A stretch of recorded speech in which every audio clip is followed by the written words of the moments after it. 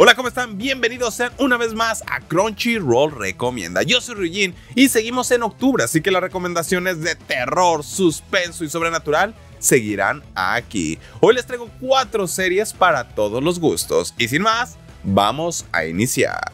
Pareciera que fue ayer cuando nuestro querido Kentaro Miura partió de este mundo para emprender un viaje al cual aún no podemos seguirlo. Sin embargo, su obra sigue igual de latente y presente como el primer día.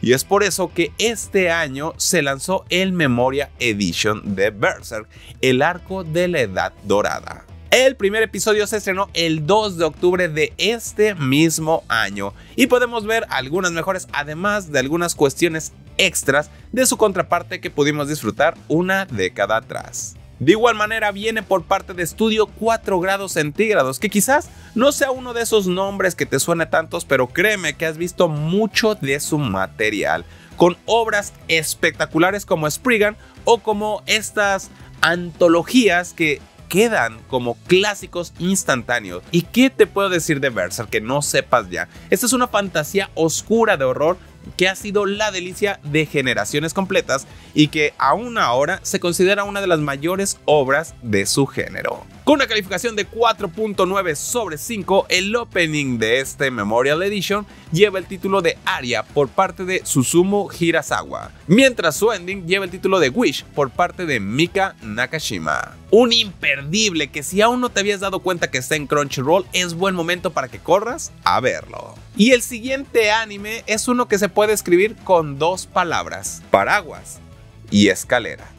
Another es un clásico que salió hace 10 años, en enero del 2012, y justamente cuenta con 12 episodios, basada en una novela ligera del mismo nombre. Esta obra de Yukito Ayatsuji fue llevada al anime por parte de PA Works. Con una calificación de 4.7 sobre 5, esta serie de horror, misterio, sobrenatural y suspenso cuenta con el opening titulado Kyomu Dense por parte de Ali Project mientras que su ending lleva el título de Anamnesis por parte de Annabelle. Una maldición en una escuela durante más de 26 años. ¿Y qué puedes hacer cuando los hilos del destino te llevarán a la muerte de una forma u otra? Esta serie nos ha entregado varias de las escenas más emblemáticas de animes de horror y gore.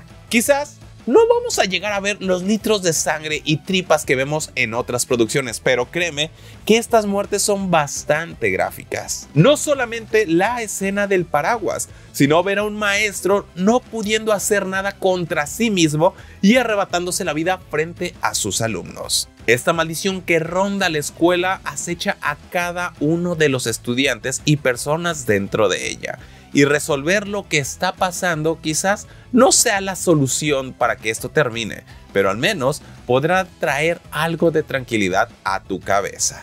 Yo sé que este es un clásico moderno que muchos de ustedes ya conocen y habían pedido que estuviera en esta lista. Si tú aún no lo has visto, pasa ahora mismo a verlo a Crunchyroll y si ya lo viste, oye, dale una segunda vista porque vale la pena. Y dime, ¿qué harías si alguien llegara y te dijera que tu más grande deseo va a ser cumplido? Esto lo podemos ver en Warrow Salesman. Esta es una versión que salió en abril del 2017. Justamente tuvo una pasada que duró de 1989 a 1992.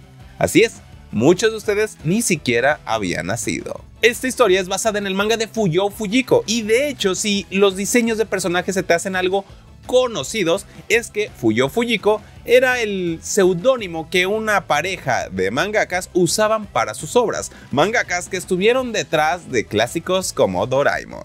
El anime viene por parte de Shin-A Animation y combina la comedia, el drama y lo sobrenatural. Su opening lleva el título de Don por parte de Nakamura Emi, mientras que el ending lleva el título de Don Yarare Chiatabushi por parte de Junji Takada. Aquí, nuestro vendedor sonriente va buscando a esas personas que tienen un vacío en su corazón. Él es muy buena persona y lo único que quiere es llenar ese vacío. El dinero no le importa, solamente la satisfacción de sus clientes. Pero recuerda lo que dicen, ten mucho cuidado con lo que deseas porque podría cumplirse. Y aquí En cada capítulo podremos ver diferentes historias en donde las cosas no salen como sus clientes esperaban, dándose cuenta con que la codicia o algunos otros deseos podrían no ser la mejor opción. Este anime tiene todo ese estilo clásico que en lo personal me encanta y te da una perspectiva diferente de viejas historias adaptadas a la época moderna. Y para cerrar las recomendaciones del día de hoy, vámonos con el primer Crunchyroll Originals, el cual está a punto de estrenar su segunda temporada. Y se trata de Inspector. Esta es una adaptación del manga homónimo, escrito por Kyo Shirodaira y dibujado por Chashiba Katase. Salida originalmente en enero del 2020, viene por parte de estudios Brainbase. Lo sobrenatural, el misterio, romance y acción combinan perfectamente en esta obra, y no importa que su protagonista parezca no estar completa, así como es, llena por completo nuestros corazones. Su opening lleva el título de Mononoke in the Fiction por parte de Uso to Cameleon mientras que el ending lleva el título de Last Dance por parte del gran Mamoru Miyano. Con una calificación de 4.3 sobre 5 por los usuarios de Crunchyroll, este anime se hizo un hueco en el gusto de todos los amantes del anime. Aquí tenemos a Kotoko, una joven con poderes sobrenaturales aunque con un alto costo. Parece que era un poquito fan de Full Metal Alchemist. Like si entendiste la referencia. Mientras que Kuro tiene otro tipo de habilidades y aunque no perdió algo físicamente, su vida es un asco.